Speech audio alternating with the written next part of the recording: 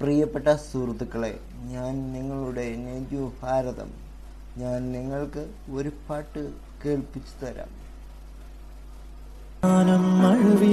നിറമണിയും നേരം നിറമാർന്നൊരു കനവെന്നിൽ തെളിയുന്ന പോലെ. ഈ ഗാനം എഴുതിയത് ശബരീഷ് വർമ്മ.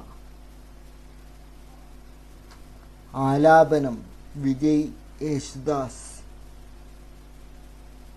ഇതുവരെ എന്നെ കേട്ടതിന് വളരെ വളരെ സന്തോഷം.